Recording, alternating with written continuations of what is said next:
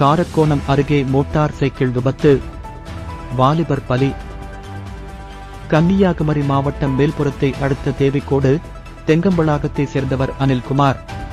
இவரது மகன் அகில் வயது 22 இவர் திருமணம் மற்றும் சுப நிகழ்ச்சிகளில் கேட்டரிங் பணி செய்து வருகிறார். சம்பவத்தன்று இரவு காரக்கோணம் பகுதிக்கு தனது மோட்டார் சைக்கிளில் பொருட்கள் வாங்க சென்றுள்ளார். அப்பொழுது குன்னத்துக்கால் பகுதியில் வைத்து மோட்டார் சைக்கிள் கட்டுப்பாட்டை இழந்து சாலையில் விழுந்தது. இதில் அகில் தூக்கி வீசப்பட்டுள்ளார்.